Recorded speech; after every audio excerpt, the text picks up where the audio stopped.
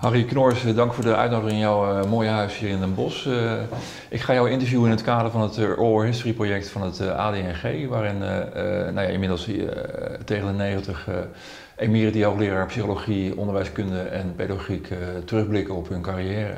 Leuk. En hopelijk ook een beetje, een beetje vooruitblikken nog. We gaan het zo hebben over, over het onderwijs aan dove en slechthorende kinderen, mhm. waar, waar, jij hoogleraar in, in was in, in, in, in Nijmegen. De uh, eerste vraag is altijd of je, of je kort iets kan, kan, kan vertellen over, over jouw achtergrond, het milieu waar je, waar je uh, geboren bent, uh, wat je ouders gedaan hebben. En zullen langzaam overgaan naar de, naar de universiteit en naar, naar het dovenonderwijs. Ja. Ik ben geboren in Heerlen, opgegroeid in Kerkrade. Ja. Ehm, mijn vader was daar directeur van de katholieke schoolraad. Ja. en mijn moeder was thuis. Mijn vader kwam typisch uit een gezin. Uh, mijn opa was hoofdconducteur uh, bij de spoorweg. Dat was de eerste die uit een boerengezin wegbrak en een andere opleiding ging doen. en hij stimuleerde bij zijn kinderen, dus bij mijn vader en zijn mhm. broers en zus, ook verdere opleidingen. Mijn vader heeft die opleiding, uh, de middelbare school, wat verkwanseld. Die hield meer van spelen en andere dingen doen dan van leren. en hij heeft dus ontzettend veel moeten bijleren, dat heeft hij ook gedaan toen wij heel klein waren. En wij is ja, maar ik heb één broer, één broer.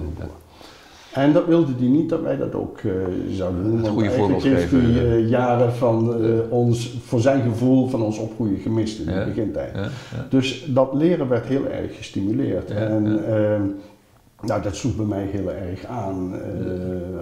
brede belangstelling altijd gehad op de lagere school al. Um, ik ben na de lagere school op het Antonius Doctor College in Kerkrade bestaat niet meer, maar uh, daar ben ik terechtgekomen. School geleid door paters Franciscanen. Ja. Uh, een, jonge, een jonge school alleen? Uh, of, nee, nee, het was in die tijd al gemengd. De, Zij het nog twee aparte ingangen. Ja, ja, ja. De, nou, de erop. En daar werden er bezig gemengd. Zo'n school. midden jaren 60, begin jaren 70. En uh, een school waarin die paters en ook de leken uh, daar uh, ja, brede ontwikkeling stimuleerden. Mijn ouders deden dat ook, mijn moeder ook, ook al had zij niet verder geleerd. Um, ik kwam daar in de derde klas in de schoolkantredactie terecht. Ehm, samen met, met een aantal klasgenoten, jaargenoten. En dat was in de tijd dat je nog de rijemagenda's had. Uh, en de rijen mag dat zeg misschien niet. Schoolagenda's, schoolagenda, die hadden een schoolkrantencompetitie. Die deden allerlei andere ontwikkelingen. dus die ja. zorgden ook voor dat er conferenties waren over bepaalde thema's. Dus ik ben naar een conferentie geweest over de Europese beweging met Henk Vredeling en Schmelzer in die tijd. Politicus toch? Ja, ja, ja, ja, ja, minister van Defensie later. Um, en vrienden van mij die gingen naar uh, conferenties over ontwikkelingssamenwerking. Met andere woorden, door die schoolkant ja. en die rijmagenda kwamen wij buiten dat kerkraadse uh, ja, in contact met heel breed, uh, breed veld. En die schoolkant, dat was gekoppeld aan thema's, want wij wilden niet meer zo een schoolkant maken met de lollige dingen. Wij wilden een maatschappelijk geëngageerde schoolkant maken, wat paste in die tijd. Kreeg je daar ook fors financiële middelen voor van de school. Ja, uh, en, uh, waar, waar, waar, kwam dat vandaan, die, die maatschappelijke betrokkenheid toen? Denk ja, je, ik denk toch dat dat, uh, nou ja, deels in de, de opvoeding, deels in wat die paters van Scane uh, uitstraalden. Zowel vanuit, vanuit huis uit als, ja, als, als, als, als, ja. Dus wij hadden derde wereldacties, maar ook acties rondom het milieu, op school, lokaal, maar ook breder in die tijd al. en dat heeft een enorme ja, ik denk toch boost gegeven verder, uh, grote inspiratie. Het, het leuke is dat uh, we zijn met drie jongens toen uit die redactie, ja. hebben we het alle drie tot hoogleraar aan de Radboud Universiteit geschapt. Eén ervan in hetzelfde, bijna hetzelfde vakgebied als ik, ja. een andere in een heel ander trein, maar ik neem nu in dezelfde periode afscheid van de Radboud Universiteit. Dus zegt iets wat breder over hoe, hoe stimulerend dat klimaat was. En dus was het ook vanzelfsprekend voor mij uh, om als, ik denk als eerste van mijn familie te gaan studeren aan de universiteit. Ja, ja, ja. En dat werd Amsterdam en het werd Nederlands. Ja, waar, waarom Nederlands? las je ook graag of zo? Had je een favoriete acteur die, of wil je zelf schrijver worden? Of, uh... journalist, uh, dat, gedacht, zeker een tijd. Maar ik, ik vond scheikunde ook leuk. Ik had een klein laboratorium in de, kelder. Ja. Want je had wel ja, beta, beta maar ik vond dat ik niet goed genoeg was in wiskunde. Dat daar onvoldoende aandacht voor had. En Nederlands. Ehm, ik herinner me heel goed dat op een gegeven moment ehm, kregen wij ook twee nonnen op school. Ja. Uh, die waren het gedrang gekomen onder bischop Gijs in dat tijd. Die waren te liberaal voor de toenmalige wind in de katholieke kerk. En die werden geparkeerd op school. En uh, een van die nonnen die ging Nederlands geven in de tijd van Jan Wolkers. Ja, dat, is, dat, lijkt, nou, dat lijkt me toch wel heel bijzonder om van een non, kan niet, hè, die van een non over Jan Wolkers precies, les, te krijgen. en zo, dat zal wel niet kunnen. Nou, en ja. vervoren, dat kon allemaal. Dus wij zaten daar met zulke boeien en die non die verblikte of verbloosde niet. En ik denk dat, nou ja, dat zorgde voor een zekere band van ja, stoffen onder de indruk. En dat heeft ook wel voor gezorgd dat ik geïnspireerd ben geraakt, uh, ja. meer lezen en uiteindelijk Nederlands ben gaan studeren. Ja, ja, In Amsterdam, in Amsterdam, ja. ja. Had ik geen keuze in hoor, het was gewoon plaatsingscommissie in die tijd. Dus Amsterdam, het grootste instituut van Nederlandistiek in Nederland. En daar heb ik geplaatst. Daar begon je mee met Nederlands. Ja. Uh, uh, je hebt het niet afgemaakt, weet ik. Uh, ik ben naar mijn kandidaat ben ik geswitcht ja? naar algemene taalwetenschap. En algemene taal, dat kan je hetzelfde als psycholinguïstiek, toch, geloof ik? Ja, of, of, ja. dus nou ja, er zitten verschillende kanten aan. je kon dat heel theoretisch doen, meer de taalkunde kant. Chomsky was hot in die tijd, dus transformationeel generatieve grammatica. En de toepassingen daarvan in velden zoals afasie. Kinderen met aanontwikkelingsstoornis. En ik ben meer die toegepaste kant gegaan. En daar zat ook doofheid in, maar tijdens mijn studie heb ik daar eigenlijk niets mee gedaan. En, en, en wat, wat, was je, wat, wat maakte dat je, dat je ging switchen van Nederlands naar, naar, naar die taal? Uh, nou, wat ik bij Nederlands, bij Nederlands heel erg leuk vond, ik heb vakken bij Herman Plein gevolgd. Ik vond middeleeuwse letterkunde helemaal te gek. Uh, alleen er was geen brood mee te verdienen. Dat had ik al snel in de gaten. Dus ja, dan moest je voor de school, voor de klas. Mm -hmm. En ik heb wel een lesbevoegdheid gehaald in die tijd, maar dat deed ik toch liever niet. Um, en wij hadden algemene taalwetenschap ja. uh, als, als, bijvak een tevoort, mijn later promotor, die gaf ja. daar een college over afasie. En dan zag je videobeelden van mensen die altijd een normaal taalvermogen hadden gehad, volwassenen, hersenbloeding en dan wat viel die taal fascinerend om te zien. En tegelijkertijd ook wel tegemoetkomen dan, drive ik altijd heb gehad, je wilt maatschappelijk iets de, doen. Wat je ook in die school Wat ik ook in die middelbare schoolperiode had. Dus toen switchte ik samen met een paar studiegenoten naar uh, ATW. Ja, ja.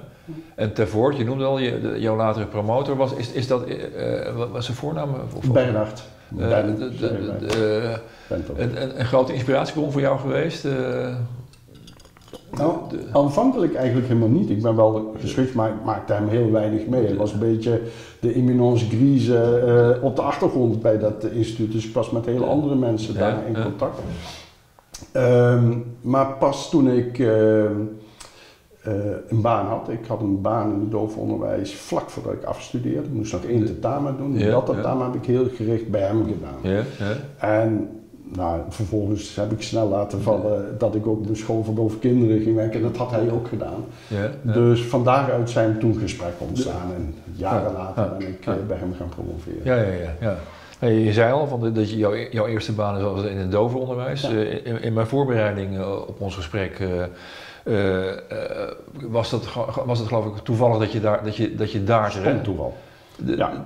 ik had, je, je, zocht gewoon een baan, je, ja, zoals, zoals iedere student aan het eind van zijn studie. Die, die, die, ja, dat was begin, wat, begin jaren 80, ja. hele hoge werkloosheid. Ja. Ik wilde liever niet in het middelbaar onderwijs. Ja. Uh, ik heb een tijdje uh, uh, het secretariaat gevoerd van een diagnostisch team op het gebied van taalstoornis, dat bij orthopedagogiek in, in Amsterdam zat. En toen dacht ik, nou, als ik nou eens die verwijzers open sollicitatiebrieven stuur, die hebben misschien wel belangstelling voor een taalkundige. Uh, en daar zat een stichting bij in Rotterdam die, wat ik niet wist, een dovenschool ook hadden. Dus op een gegeven moment kreeg ik een telefoontje of ik eens wilde komen praten. Uh, nooit een doof kind gezien, nog nooit, laat staan een school voor dove kinderen. Ja, Dun boekje gelezen. Uh, ter voorbereiding. Ter voorbereiding. De, de, de, Heel veel geluk gehad. En op die school vroegen ze me een beetje iets van taalontwikkeling. Ja, ja, en uh, kun je ons daarbij helpen? Nou, daar wist ik oprecht wel bij, van. Bij, bij, bij, bij, bij gewone die, die, die, Precies, ja. ja. En um, de deal was, want dat, dat, was ook de manier om te benoemen. In die tijd had je nog een besluit buitengewoon onderwijs, ik me goed herinneren. Iedereen met een academische opleiding, ongeacht de richting, automatisch een, een, mocht in een speciaal onderwijs werken. Oh, de... uh, dus ik werd benoemd als leerkracht. Ja, uh, en ik moest een kwart van mijn tijd uh, daadwerkelijk lesgeven. Een groep van zeven goed sprekende vonden ze in Rotterdam kinderen, dus die kon ik verstaan, zeiden ze. Ja. Uh, die, die, moest ik anderhalf uur per dag Nederlands geven. En de rest van de tijd uh, adviseren, ik doen vertaalontwikkeling en, en dat soort zaken. Uh, geen methodes, want dat was op dat moment geen taalmethodes. Je werd, gewoon, dus, je werd er diep in gegooid. Ja, de, ik, de, de, ik kreeg drie dagen de tijd, kreeg de dossiers van die kinderen, moest die lezen en vervolgens... De, medische dossiers? Ja, ja, ja, medische, biologische dossiers. Um, en toen ging ik hun lesgeven. En ik verstond hun wel enige mate, maar niet zo heel erg goed. Ja. Als je anderhalf uur per dag Nederlands moet uh, geven uh, en je hebt geen methodes, want het idee was dat moest uit de kinderen zelf komen. Je ging over allerlei dingen die in de actualiteit speelden van hun leven, ging je gesprekken voeren. Van, en van, wie, kwam dat idee? van wie kwam dat idee? Nou ja, dat, dat was de heersende pedagogiek en dat was eigenlijk dat ging terug op uh, zeg maar de tegenpool van, van tevoren als het ging om wel of niet gebaren uh, van Ude. Uh, hier in Sint-Michiels-Gestel, een priester, hoofd van het diagnostisch centrum. En ehm, die had als idee dat de moedertaalontwikkeling van kinderen in het gezin, wat toen langzamerhand meer bekend was, dat je dat eigenlijk moest imiteren in de klas. En uh, de gespreksmethode heette dat, of de moedertaalmethode. En dat je dus via allerlei gesprekjes en door het reflecteren daarop, dat die kinderen, in dit geval gesproken en geschreven Nederlands gingen leren. Um, nou ja, en los van wat je daar vindt, maar dat, dat waren de handvatten die je had. En dan dus anderhalf uur per dag. Uh, ja. Uh, lang. Ik herinner me dat ik teksten van André Hazes uit, uit, ik wist niet wat ik moest doen, dus maar een liedtekst behandelde, et cetera. In diezelfde periode was een boekje verschenen van collega's aan de UvA, Wie niet horen kan moet maar zien. En dat was een pleidooi om gebaren te gebruiken. En ik zag die klasgenoten in mijn klas, of de kinderen in die klas, tien jaar oud, die zag ik ook gebaren maken. On onderling. onderling. De, de, dus toen heb ik met hun een deal gesloten. Dat las ik. ja, uh, jij gaf drie kwartier les. Uh, uh, in jouw taal. En precies, en zij gingen mij drie kwartier... In, in, in, in gebaartaal. Uh, en een beetje uh, veldlinguïstiek, zeg maar. Ik had zo'n schriftje uh, en daar schreef ik iedere dag op welke de, woorden ik ging de, vragen hun om dat in gebaren om te zetten. Ja? Zo, dus op die manier heb jij jezelf... Ja gebaartaal uh, uh, tot op zekere hoogte. Ja. ja. Beetje, beetje vergelijkbaar zoals, zoals nou, als, je, als je wel eens in het buitenland bent op vakantie of zo, dat je, dat je met iemand probeert via gebaren uh, elkaar duidelijk te maken wat je, wat je bedoelt. en wat je dan merkt is, dan ken je wel die woorden in het buitenland. Ik ken de, redelijk wat gebaren van kinderen, maar als ze onderling vlug even gebaren, dan kon ik dat toch niet volgen. En, en dat is uiteindelijk... Dat is net, zo, net zoals mensen langzamer of sneller praten, heb je dat natuurlijk met, met gebaartaal waarschijnlijk, waarschijnlijk ook. Nee, ik kon de grammatica niet volgen. in die periode begon het inzicht te ontstaan dat, dat die kinderen die gebaren niet gebruikten in de woordvolgorde van het gesproken Nederlands, maar dat er hele andere grammaticale regels achter zaten. Alleen wat, wat, wat, is een grammaticale regel bij, bij gebaartaal? Uh, nou, bijvoorbeeld. Um, bijvoorbeeld uh, ja, classifiers, het komt ook in gesproken taal voor, maar niet in het Nederlands. Dus je bijvoorbeeld een boek. Of bijvoorbeeld een sleutel. Ja. Nou geef ik jou wat. Nou kan ik zeggen, ik ga het boek en dat ga ik geven. Of ik ga de sleutel en ik ga ik geven. Maar wat er gebeurt is dat die handvorm van sleutel in dat gebaar geven geïncorporeerd wordt. En zo geef ik een sleutel aan jou, of een sleutel aan de cameraman, of een sleutel aan iedereen. En dan zitten dus allerlei morfologische processen, grammaticale processen in die gebaren. Dat heeft taalpsychologisch een beduidende functie, want het spreken van een woord gaat twee keer zo snel als het maken van een gebaar. Ja, ja. Dat is gek, want die spieren van het articulatieapparaat werken sneller dan die logarmspieren.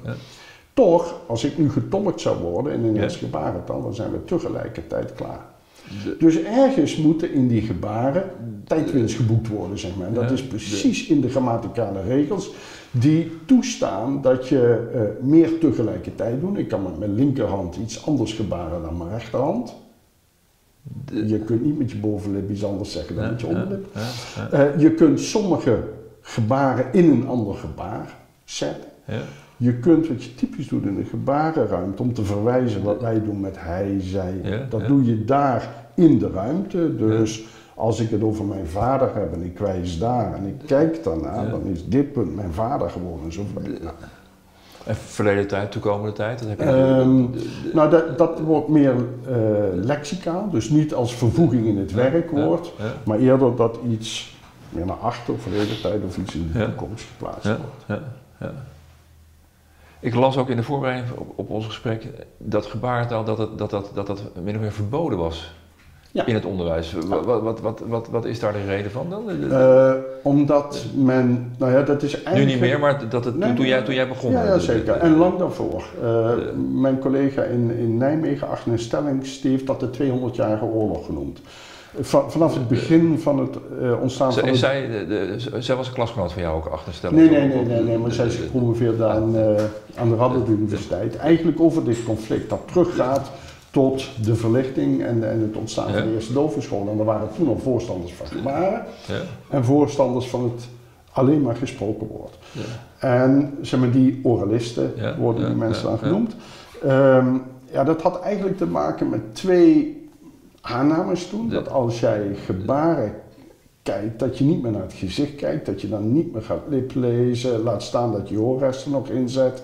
En die gebaren zijn dan zo makkelijk, was het idee, dat die dove kinderen niet meer leren spreken. Ja. Uh, en als ze niet meer leren spreken, gaan ze niet integreren in de samenleving. Dat was, dat was de ho dat, hoofd... ja, ja, En dus kreeg je, uh, nou, om een voorbeeld te geven, in Sint-Michiels-Gestel, uh, wat naderhand bekend stond als wereldwijd een van de belangrijkste uh, instituten die gesproken taal propageren, waar je niet mocht, mocht gebaren, waar kinderen, uh, die gebaren toch, dan moesten ze op de handen zitten. En in die tijd werd ook wel eens op de handen geslagen. En overigens was dat een pedagogisch gebruik dat wat breder zat. Uh, maar goed, dat, dat zijn wel sterke herinneringen. Er was ook een periode dat al die kinderen wel mochten gebaren. Maar op een gegeven moment kregen priesters in Sint-Michiels of pedagogen elders die tegen die gebaar waren de, de overhanden. Dus een beetje eind 19e, begin 20e eeuw geweest. Dus toen ging alle aandacht naar dat spreken. Rond de Tweede Wereldoorlog worden hoortoestellen, hoorapparatuur uh, uitgevonden, hè, via transistoren en zo. Ja. ja. en dat hielp ook een deel van de mensen, want die gingen dan meer horen dan voorheen. en dus kwam er nog meer nadruk op, uh, op het spreken en, uh, en het luisteren. En het zijn eigenlijk. Er zijn eigenlijk twee, twee ontwikkelingen. In, in 1960 uh, eh, in, uh, in Amerika uh, aan Gallaudet University, dus een universiteit vooral voor dove mensen in Washington. Ja, ja. Er was een taalkundige, William Stokey, en die heeft eigenlijk voor het eerst beschreven dat Amerikaanse gebaartaal een echte taal is, met alle, allerlei kenmerken van talen en niet een soort pantomime wat je deed. Want Amerikaanse gebaartaal is anders dan de Nederlands gebaar. De, eh, eh, gebaartaal is geen universele taal, nee, uh, geen Esperanto van... van nee, nee, nee, nee, er zijn verschillen. En er zijn wel taalfamilies, dus Franse gebarentaal en Amerikaanse gebarentaal zijn redelijk verwant. Dat komt simpelweg omdat een aantal Fransen naar Amerika is geweest, daar belangrijk is geworden in het onderwijs aan Amerikaanse doofkinderen. Ja. Die hebben taal meegenomen. Uh, en en uh, Nederlandse gebarentaal is daar meer een beetje. Hè, er zijn dus verschillende taal, gebarentaalfamilies, zoals je dat gesproken taal ook hebt. Natuurlijk, ja. ja. ja, Goh, wist, wist ik niet. Dus die, die, die taalkunde, hè, dus dat het niet zomaar wat gewapper in de lucht is, maar dat het echte talen zijn, is een heel belangrijk inzicht geweest. Uh, en in Nederland de druk van ouders. Ouders die zeiden, ja het is allemaal goed en wel met jullie pedagogen dat wij alleen maar moeten spreken.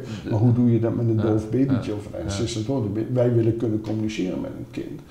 En die hebben eigenlijk maatschappelijk veel druk uitgeoefend op die doofinstituut, om het maar zo te zeggen, om gebaren weer toe te staan. Ja, ja. duidelijk. Die, die, uh, je, je, je, je bent ook gaan promoveren. Uh, is dat idee ontstaan tijdens, tijdens, tijdens jouw uh, uh, Leraarschap? Ja.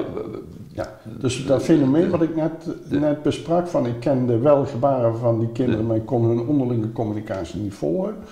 Daar kwamen wat publicaties van. van ja, dat zou wel eens kunnen omdat er andere grammaticale regels uh, zijn. en dat heeft mijn interesse gewekt.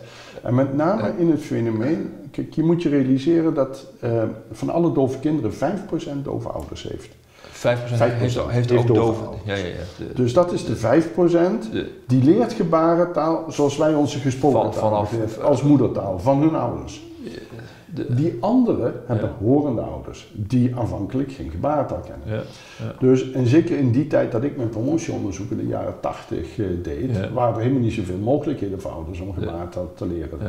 Uh, dus wat er eigenlijk gebeurde was dat die kinderen een taal leerden van andere kinderen. En ja, dat is een fenomeen van wat betekent dat nou als jij je taal moet leren van anderen die ook die taal zijn het leren. En wat doet dat dan met de structuur van die taal? En kun je die taal in structurele complexiteit wel vergelijken met als jij die taal als moedertaal hebt? En dat zijn fenomenen die waren tot die tijd uh, eigenlijk alleen maar beschreven bij uh, bijvoorbeeld kinderen met gesproken talen die in weeshuizen terechtkwamen. In Nieuw-Guinea herinner ik me zo'n studie. kinderen met verschillende moedertalen nog die talen leren. En die kwamen dan in een weeshuis terecht en die ontwikkelden daar met elkaar een, een eigen soort taal. Eigen soort taal. ja. En dus in die zin, wat, wat gezegd, zijn dove kinderen een soort experiment van de natuur om dat soort taalverschijnselen te kunnen uh, bestuderen. Dus dat was de meer theoretische kant. En ik hoopte ook inzicht te krijgen die misschien iets zou kunnen betekenen voor hoe je taalonderwijs zou kunnen geven, of überhaupt taalbeleid op de Die, die ambitie om te willen promoveren, waar, waar, waar kwam die vandaan? Want je, want je werkt in het onderwijs, heb je ook al gedacht, ik, ik blijf de rest van mijn leven alleen maar in het onderwijs? Of had je, had je echt nadrukkelijk een wetenschappelijke ambitie ook? Uh, ja, nee, ik had wel een nou, ik had wel een wetenschappelijke interesse, dat heb ik mhm. eigenlijk in het begin gedaan. Maar sommige dingen zijn, ja, wat is toeval? Uh, ik wilde na een paar jaar meer aan de knoppen draaien. Dat, dat, ik wilde zaken beter hè, in, in, op, in het onderwijs aan dove kinderen. Weer diezelfde soort maatschappelijke relevantie die, die, je ook in die dus schoolkrant... ik wilde hogerop, maar... Voor, doof, voor, doof, voor dove kinderen, ja, kinderen. Dus ik wilde daar meer invloed op kunnen uitoefenen. En dat heb ik eerst geprobeerd door uh, directeur van de dovenschool of adjunct-directeur te worden. En dat is niet gelukt toen. Qua, qua, invloed niet bedoel je? nee, ik, ik, ik, dat was een sollicitatieprocedure en dat was iemand anders die won. Uh, wat achteraf mijn geluk is geweest. maar goed, op dat moment betekende, nou, dat betekende... Wat meteen weer iets zegt over winnen, winnen en verliezen natuurlijk. um, maar dat betekende dat die weg voorlopig was afgesloten. En ja, dat heeft gedacht van, nou, wat kan ik dan doen om persoons promoveren eigenlijk. En toen zocht je weer contact met, met Ben Tervoort, jou, ja, jou, jouw afstudeerbegeleider. Ja, dus dan maar, maar met, met, met, met, jouw eigen idee ook dus gewoon. Ja, uh, maar dat kwam heel erg overeen met, um, met zijn eigen promotieonderzoek. Uh, Tervoort is bij Rijchling in Amsterdam gepromoveerd na de Tweede Wereldoorlog. Ook op een proefschrift over communicatie van, uh, van dove kinderen in Sint-Michiels-Gestel. Ja. Um, alleen daarvoor beschreef dat in die tijd nog als esoterische en exoterische communicatie. Je had nog niet zeg maar, dat gereedschap van de gebarentaalkunde. Um, ja, en ik, ik heb eigenlijk voortgebouwd ook op dat onderzoek. Dus dat was ook in dat opzicht gewoon de, de, ideale promotie. Ja, ja, ja. En de titel was, was uh, uh, het ging dus over verwerven van gebarentaal voor dove kinderen van horende ouders. Specifiek van, horen, van horende ouders. Uh, en daar heb ik met name de grammatica van bestudeerd. En, en, en wat, weet je nog wat, wat, wat een van de belangrijkste conclusies was uit, uit, je... Dat, dat, weet ik nog wel. Dat, dat, dus dat, ik, dat, ik wel. Zeg maar die, die uh, lexicon in gebarentaal. Ja. Uh, daar waren niet zoveel problemen mee. Dus die, die, zo'n zo lexicon is veel robuuster voor allerlei uh, laten we zeggen, uh, afwijkende processen in ontwikkeling dan de grammatica. En die grammatica, die week wel heel sterk af van het Nederlands, had duidelijk eigen kenmerken. maar was lang niet zo complex als de grammatica van moedertaalgebruikers, gebarentaal. Dus een enorme achterstand, ook op 14, 15-jarige leeftijd. Ja. Dus dat voedde mee, uh, er waren natuurlijk andere onderzoeken, dat als je eenmaal zo'n achterstand in, in, in de ja. grammatica hebt opgebouwd, in, je, moedertaalontwikkeling, omdat je die moedertaal niet van jongs af aan meekrijgt, dan haal je die nooit meer in. Is dat erg? Nou, niet voor dagelijkse gesprekjes, dat kun je heus wel zonder wat grammatica doen.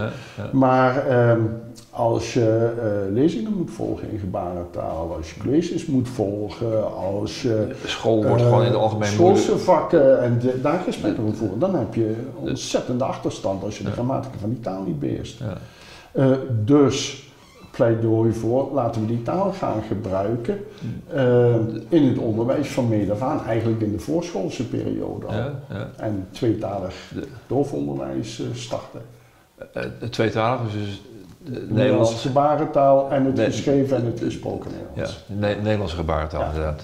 Ja. Ja, Je, je, je, zei net van, van ik wilde meer, je, wilde meer aan de knoppen draaien, meer, meer invloed krijgen op, nou ja, op, op, op, op, op, op dove en slechthorende, het, het onderwijs aan dove en slechthorende kinderen. Uh, heeft, heeft jouw proefschrift erbij geholpen? Ja, zeker.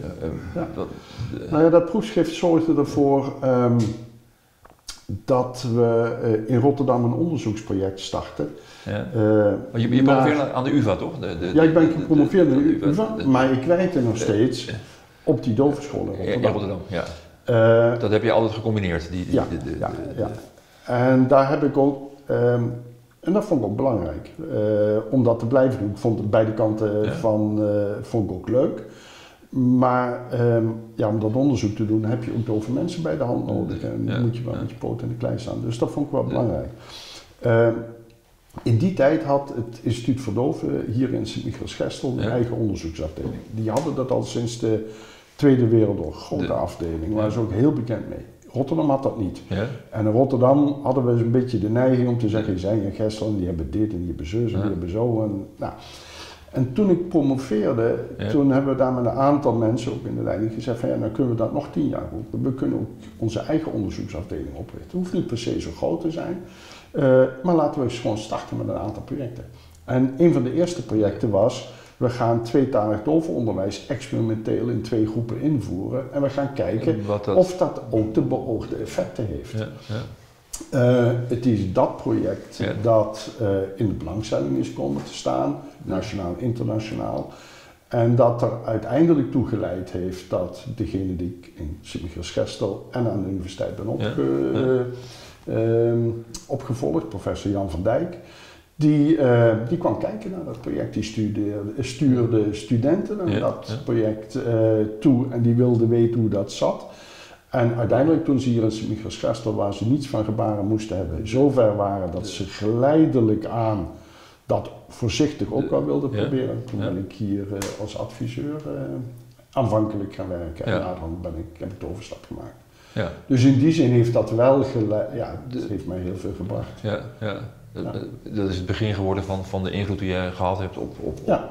Binnen het dovenonderwijs. Ja. Uh, je, je, je, bent, je bent ook, uh, je werd in 2003 werd je bijzonder hoogleraar aan uh, onderwijs en opvoeding voor doven slechthoren, slechthorende kinderen en jongen aan de Radboud Universiteit. Hoe, hoe, hoe, hoe, hoe, kwam dat? Was, was, had je ook een ambitie toen, toen, toen je gepromoveerd was van ik wil ook hoogleraar worden? Of, of, of kwam het toevallig op je pad? Of, of Nee, dat, de ambitie had ik. En uh, misschien nog niet zo uitgesproken, maar ook, ook in Rotterdam hadden we het wel over van. Het zou, als dat zou kunnen, dat zou gewoon goed zijn voor de positie van een onderzoeksafdeling. De, de relatie met de universitaire wereld, de universitaire wereld meer naar binnen halen. Uh, dat zou gewoon goed zijn. Uh, Sint Schessel had al een bijzonder hoogleraar, Jan van Dijk. Ja. Dus toen ik hier ging adviseren uh, in, in Sint-Michiels-Gestel, uh, dat heb ik vier jaar gedaan. Ja. Ehm, op 26 augustus 1996, ik weet nog heel goed, vroeg Van Dijk mij, loop eens even mee naar mijn kamer. Ja. En die heeft toen gevraagd, zou je mij willen opvolgen? Zowel in zijn capaciteit als uh, hoofd, directeur van het diagnostisch centrum in Sint-Michiels-Gestel, als uiteindelijk ook als hoogleraar. Uh, Ehm, in Nijmegen. Waar, waarom staat die datum jou zo goed bij nog? Gewoon de, Omdat ik, ehm, ik weet nog de plaats, het, het, het zijn van die dingen die gebeuren. Het flashbulb memory of zo. ja, het kwam volkomen onverwacht. Uh, het zijn de dingen waarvan ik in ieder geval dan nog uh, stamel van, daar moet ik over nadenken, maar je weet het eigenlijk al in, uh, in een split. Ja, een soort van, beleefdheid of zo. Ja, nou ja, het had ook nog wel wat repercussies. Ik woonde in de buurt van Rotterdam in die tijd en meer dat soort praktische dingen. En ik, ik heb het altijd heel erg aan mijn zin gehad in Rotterdam, dus die overstap, maar je weet het eigenlijk. ja, once in a lifetime. Omdat je dan... Omdat je waardering voelt, maar, maar, maar, ook, maar ook waarschijnlijk dat je dan denkt van dan kan ik, dan kan ik misschien nou, nog, meer, nog meer invloed... Uh, ja, nou ja, en, en los van invloed, de mogelijkheden om uh, dat onderzoek in de praktijk uit te bouwen met een grote onderzoeksafdeling die ze hier in Gestel hadden en de connecties met toen nog de katholieke universiteit in Nijmegen. Ja, ja, dat, dat, was, uh, dat was geweldig. Dus het biedt allemaal, bood allemaal perspectieven voor de toekomst om het uit te breiden. Ja, ja, ja. En dat ben je, eh, want je, je werd bijzonder hoogleraar namens Kentalis. Ja, uh, Kentalis is, is, een instituut. Het Instituut voor Doven is gefuseerd met een aantal andere doveninstituten en een heleboel scholen verbonden. Ja, ook, ook taalontwikkelingsstoornissen en, en, en, en, en, doofblinde kinderen. En, nou ja, en dat is een hele grote organisatie en die heet uh, sinds tien jaar Kentalis. Ja. Uh, dus die leerstoel is in die fusieprocessen meegenomen. Ja, ja. En, en dan ben je dan, uh, was je fulltime hoogleraar? Of, nee, of, of nee, ik, heb, ik heb het altijd gecombineerd met managementposities. Ik heb de eerste vanaf 2003, ik was al directeur van het diagnostisch centrum. Dus ik was verantwoordelijk in Sint-Michiels-Gestel voor, ja. Uh, ja. voor de hele diagnostiek van, van kinderen en jongeren. Maar ook eindverantwoordelijk voor gezinsbegeleiding. Uh, dus gezinnen met een sector of het ook in. De CI-revalidatie. De, de, CI, cochleaire implantaten. In die periode dat, werden... Dat zijn, dat zijn uh, gehoorimplantaten. Uh, ja, dan krijg je elektrodisch geïmplanteerd in je slakhuis. Ja.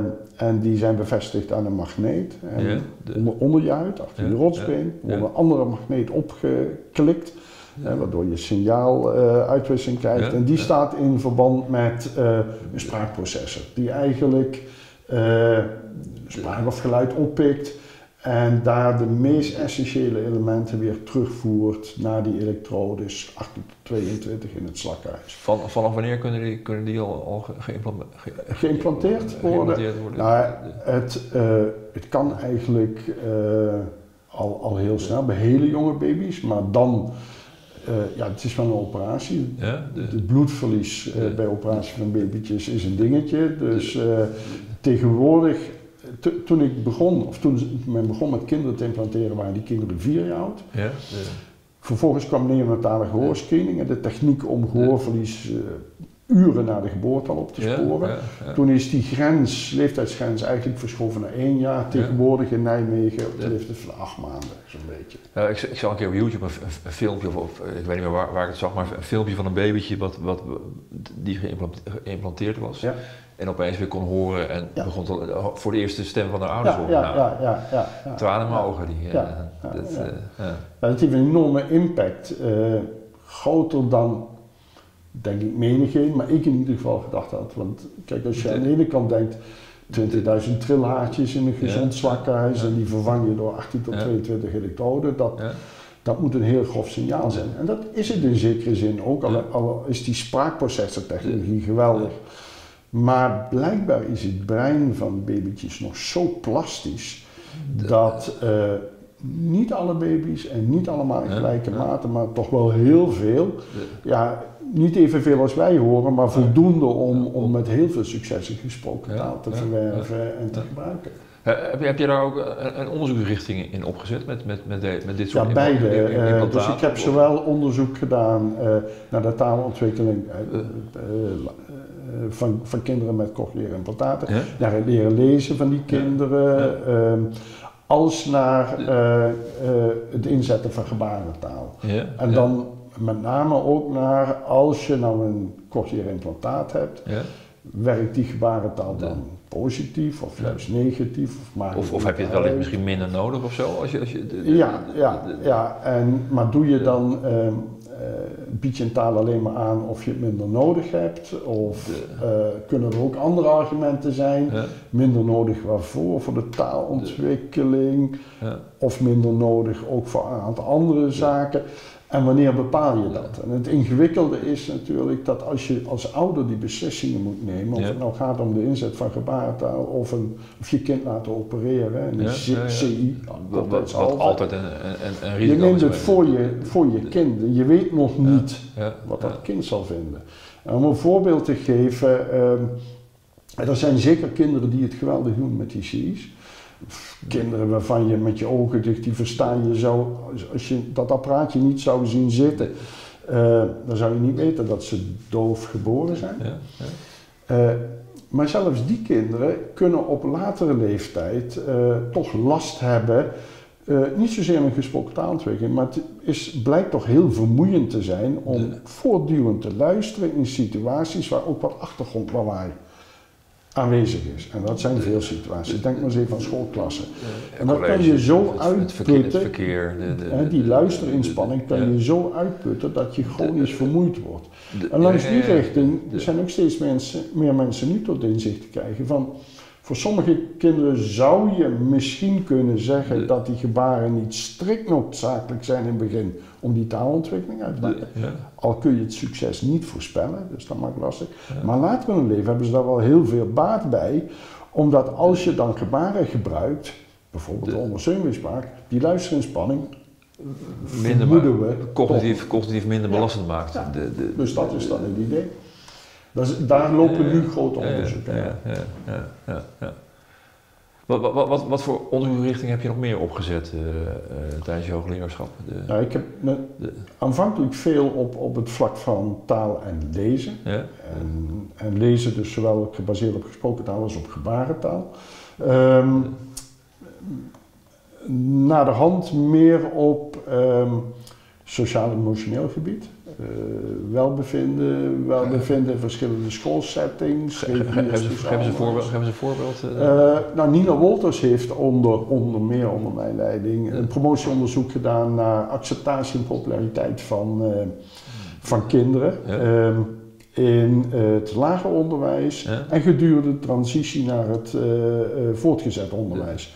En daarbij ook nog gekeken hoe dat in het speciaal onderwijs zat en het voortgezet onderwijs zat omdat ehm, je kunt uh, in dat reguliere onderwijs het cognitief wel goed doen, maar als je je niet geaccepteerd voelt of weet, dan kan dat zo ten nadele, dat was de, de gedachte erachter, zo nadelig zijn van je welbevinden dat je alsnog niet goed leert.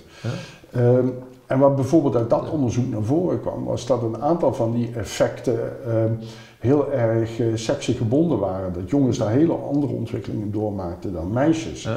En nou bijvoorbeeld meisjes in die periode, ja. bovenbouw, basisonderwijs, onderbouw, dus begin puberteit. Die, die relaties, en die vriendschapsrelaties tussen kinderen zijn nog heel erg op same-sex friendships gebaseerd. Bij meisjes gaat dat veelal via taal, bij jongens veelal via gedrag. We doen een beetje stoer of minder stoer. Maar die meisjes zijn dus, ja, dan, dan kom je op een nieuwe school, hè, voortgezet onderwijs. Ja. Vertrouwdheid van je basisschool is weg. En je legt relatie met andere meisjes via taal. Precies jouw zwakke punt. En, um, en je zag dat dat bij sommige meiden ten koste ging van hun welbevinden, omdat die zich wat terugtrokken. Om het met, een, met één voorbeeld duidelijk te maken. Nina die kwam een meisje tegen, uh, die verbleef op die middelbare school in de pauzes altijd uh, in de lerarenkamer. Nou, is dat niet uh, wat je doet om daar, als leraar te Word je, word je niet, niet, stoer gezien? Nee, nee dat is hullen met de vijand. Um, er was een hele simpele reden waarom dat meisje deed. was de meest rustige ruimte in de school. En ze was moe van de hele dag, dus ze zocht dat even op. Er was één ding, dat had ze niemand verteld. Aha, dat, op zich vertel je dat natuurlijk ook niet zo graag, want wat je als puber ook niet wil, is dat alle aandacht naar kwatta uitgaat. Ja. Um, maar goed, het had wel een impact en met name het terugwerk, eh, teruggetrokken gedrag, dat heeft een negatieve impact op sociale relaties in die periode. Nou, dat, dat type onderzoek, dus die interactie met schoolsetting. Uh, met taalachtergrond en met de hoorproblematiek, ja, dat heeft heel erg met belang zijn, omdat dat in belangrijke mate meespeelt bij, uh, bij het leren. Ja, ja. En, en ook bij, bij, bij een soort van maatschappelijke acceptatie, toch? Ja, ja. Ja. ja, maar goed, dat, mijn focus is gaandeweg steeds meer naar welke elementen spelen nou bij dat leren een rol. Ja, ja. En je, je stipte net ook aan die neonatale screening. Ja. Uh, dat baby's al heel veel, ik herinner me nog van mijn eigen zoontje ook, uh, dat, dat hij al heel snel op zijn hoor getest werd. Uh, is dat, is dat mede, heb jij mede aan die knop gedraaid om dat in te voeren? Of, of nee, is dat nee, de, de, de, de, hebben mijn collega's van de Nederlandse Stichting voor Dove Sectoren Kinderen in Amsterdam gedaan. Oké, oké. Ja. Maar dat is natuurlijk wel een goede ontwikkeling voor. voor, voor, voor, voor uh, Alleen het feit dat. Kijk, bij, bij, mij is het, het gewoon nog gescreend toen ik negen maanden was, consultatiebouw, klassiek. het feit dat dat nu uh, kan uren na de geboorte, maar uh, de diagnose van hoofdvlies moet binnen de eerste drie maanden gezet worden. Ja. Begeleiding moet binnen de eerste zes maanden opgestart worden. dat alleen al heeft gezorgd voor een enorme stimulans in de ontwikkeling van die kinderen. Als, je, als, jij, als, jij, als jij terugkijkt hè, op, op, op, je, op, je, op, je, op je wetenschappelijke carrière, ik, ik, las dat je, je hebt iets van 130 wetenschappelijke publicaties mede op je naam eh, staan. Mm ik zag niet hoeveel pro promovendi, hoeveel promovendi? 17. Van wie eentje doof was. Uh, las ik. Ja, las ja, ja van wie eentje doof was. Een collega van mij die bij de onderzoek zat. Ja, ja, ja dat, dat, lijkt me nog heel bijzonder, omdat... Ja. Waar, waar, waar, kijk je nou met, met, met de meeste voldoening op terug? Uh, wat, zie, wat zie je als, als, als je grootste bijdrage aan het vakgebied? Uh, of, of, of? Um, ik denk wetenschappelijk. En, en, dan liggen hier twee boeken, die mag je laten zien. Ja, ja, ja. ja, ja. die ik zo uh, Nou, puur wetenschappelijk gezien denk ik. Uh, het onderzoek naar die sociaal-emotionele relaties, wat ik net zei, en, en de onderzoeken naar de rol die gebarentaal speelt bij het leren lezen. Um, kan spelen. Dus meer uh, ja, cognitief uh, onderzoeken. Daar, daar ben ik. Uh, ik denk dat die de grootste impact hebben. Waar, waar het eigenlijk komt, op neerkomt, is dat ja, gebarentaal spelen heeft een positief effect op het leren lezen. Ja. Maar dat effect is minder groot dan het effect van gesproken taal. Omdat als je gebarentaal inzet, wat op zich goed is, maar dan moet je, dat blijft toch een beetje lezen langs een omweg. Het is goed als wij, als we geen Spaans spreken, toch van een Spaanse krant enige mate kunnen duiden als je een achtergrond in het Frans hebt. Maar het blijft natuurlijk niet echt soepel gaan. Zo moet je dat een beetje voorstellen. En, en zeg maar, dat soort afhankelijkheden, uh, die hebben we eigenlijk bij, uh, bij kinderen uh, aangetoond. En ook um, onderzoeken, die lopen nu nog, dat er kinderen zijn die uitstekend leren lezen, ja. dove kinderen, op basis van wat ze nog horen met een CI en wat ze kunnen aflezen, dus langs die kant. Maar er zijn ook kinderen die helemaal die mogelijkheden niet en toch goed leren lezen en dus niet terugvallen op wat klassiek is, de fonologie, maar die dat eigenlijk doen door een combinatie van heel snel en heel accuraat te kunnen vingerspellen, dus de letters van je hand, A, B, C, D, E, F. En, dat hebben wij niet onderzocht, maar dat hebben Amerikaanse onderzocht, een soort compensatie die als volwassenen, die zien in één oogopslag meer letters dan wij dat zien. En dat in minder tijd. En dat betekent dat ze een soort orthografische strategie hebben bij het lezen, die compenseert, die efficiënter is en die compenseert voor het tekort aan fonologie. Ik, ik, ik moet, eh, mijn achtergrond is eh, zo, ik ben psycholoog. Ik moet nu opeens denken aan dat, aan, onder andere aan het proefschrift van Adriaan de Groot over, over, over schaken. Ik weet niet, weet niet of, je dat, of, je, of je dat kent. En dan beginner-expert onderzoek. Hè, dat, dat experts op allerlei terreinen grotere hoeveelheden informatie in één keer, uh, betekenisvolle informatie in één keer waarnemen dan niet-experts. Ja. Is, is, is, zit daar, zit, eh, wat je nu vertelt, is, is, is, dat, is dat een... Ik denk dat dat wel een bepaalde connotatie heeft. Alleen is het dan ook nog eens een expert in de visuele waarneming. De, in een mate waarop jij en ik dat niet hoeven te doen, omdat wij steeds terugvallen op onze fonologie. Het niet noodzakelijk is voor, voor onze overleving, als het ware. Ja, de, de, de, ja, zo zou ja nou, overleving, om nee, nee, ons staande, te houden, om, te houden in het sociale verkeer. zeg maar. De, de, de, en wat we op dat gebied nog niet weten is of zo'n compensatiestrategie, dus die dus voor sommige dooflezers buitengewoon efficiënt is, of die ook aangeleerd kan worden en hoe je dat dan zou moeten doen. Daar lopen nog wat onderzoeken naar. Dus daar ben ik, dat is meer wetenschappelijk gezien, omdat ik in de praktijk uh, uh, werk en dat altijd leuk en heel belangrijk heb gevonden, heb ik me ook altijd ingezet om die resultaten zo goed mogelijk naar de praktijk terug te voeren. En een van de manieren, en daar is je op, is uh, ja, dit boek, Teaching Deaf Learners, uh, dat ik geschreven heb met uh, een van degenen met wie ik het meest intensief heb samengewerkt, Mark Marshak. Ja. Uh, cognitief psycholoog, uh, inmiddels ook met emeritaat, uh, werkte in Amerika, ja. Rochester Institute of Technology. Die, die, die, universiteit waar je het over had in het begin al, die, die Nee, dat was Gallaudet oh. University of Washington. Dit is een, een ook federaal gefinancierde technische universiteit, hè? Rochester, stad van Kodak, Rank Xerox en zo vroeger vlakbij Canada in de buurt. Ehm, en die hebben een college uh, voor dove studenten die in techniek en architectuur en dergelijke geïnteresseerd zijn. Daar was hij verbonden, een onderzoeksafdeling. En um, hij heeft er eigenlijk voor gezorgd dat, uh, dat dat kleine veld van zeg maar, dove pedagogiek ook ging kijken naar inzicht uit de cognitieve psychologie. Uh, bij hele jonge kinderen, maar ook bij volwassenen. heeft hij eigenlijk het veld gebracht. Ik heb hem leren kennen in 2000. Ja. Uh, en we hebben heel veel samengewerkt, we zijn hele goede vrienden geworden. En um, we hebben ons heel erg ingespannen, omdat dat kleine veld van die dove pedagogiek ook heel erg gekleurd wordt door allerlei opvattingen. Niet noodzakelijk onderbouwd met onderzoek. Um, om juist dat onderzoek naar voren te brengen. en dat hebben we in dit boek gedaan. Ja. En omdat we wel wisten dat uh, nou, de, de, gemiddelde leerkracht in welk land dan ook niet een Engels boek gaat lezen. Um, en bovendien een Engelse of Amerikaanse context iets anders is dan een Nederlandse of Japanse.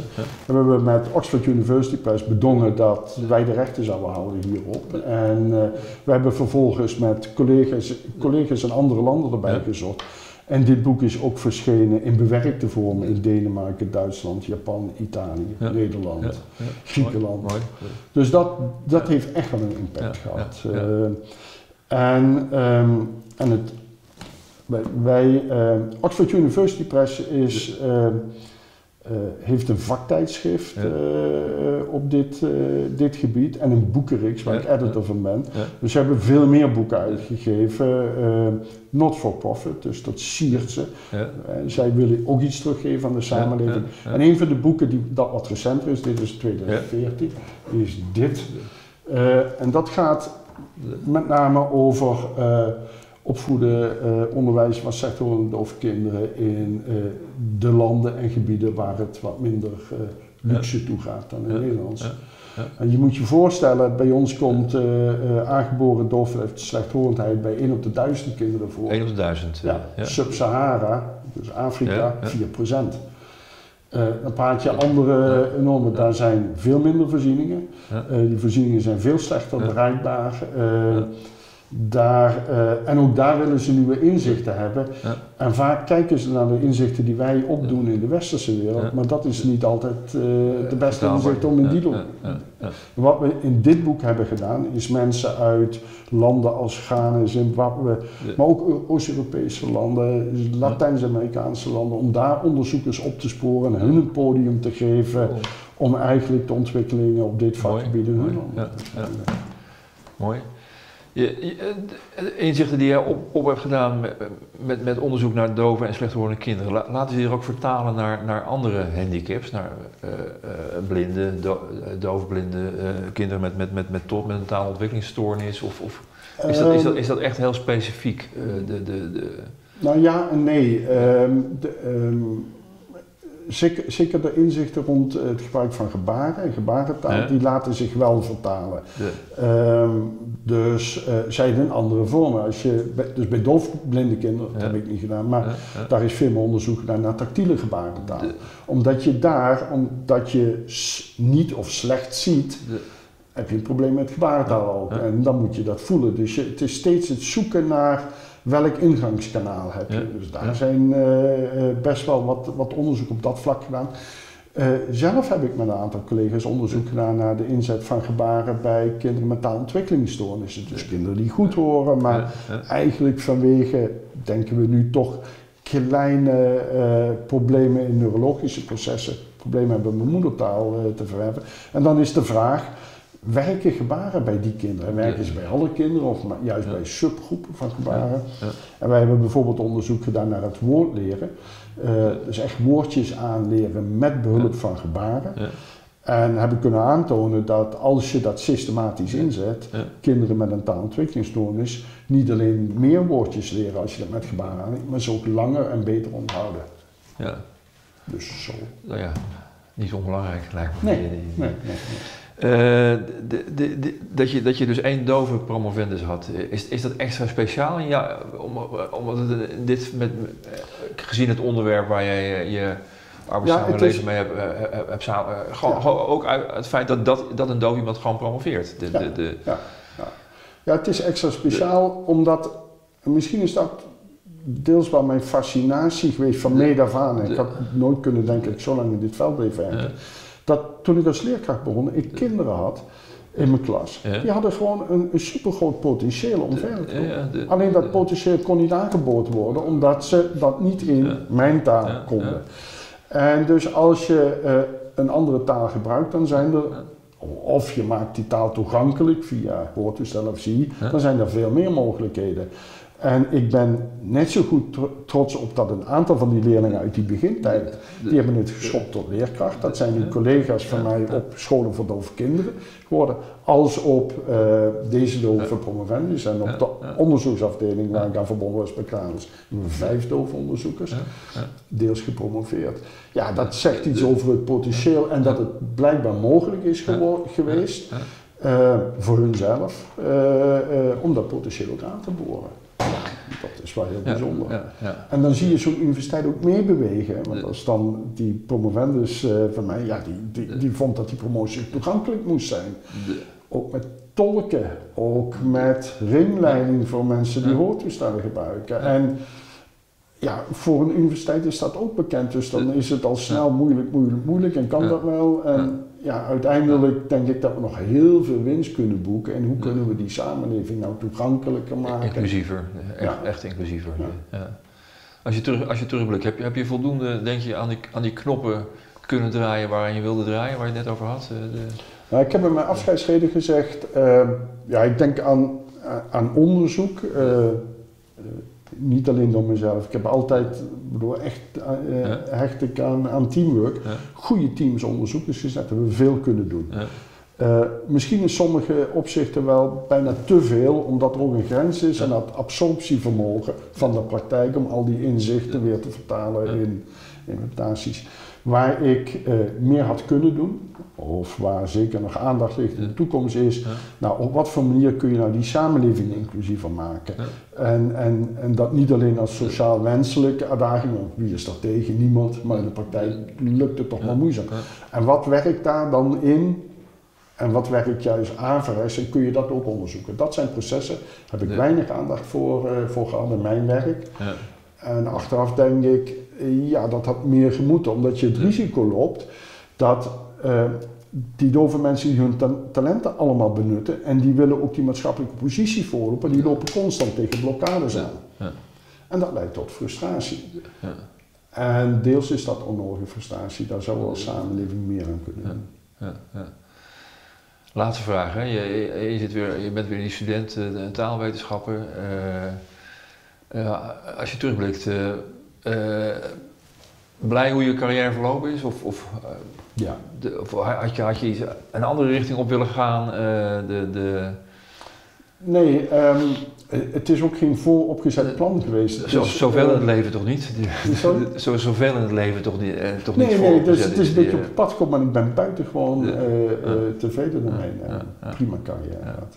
Ja, ik vind het ook uh, bijzonder wat je allemaal vertelt. Uh, dank, je, dank je wel voor het gesprek. Graag gedaan. Dank.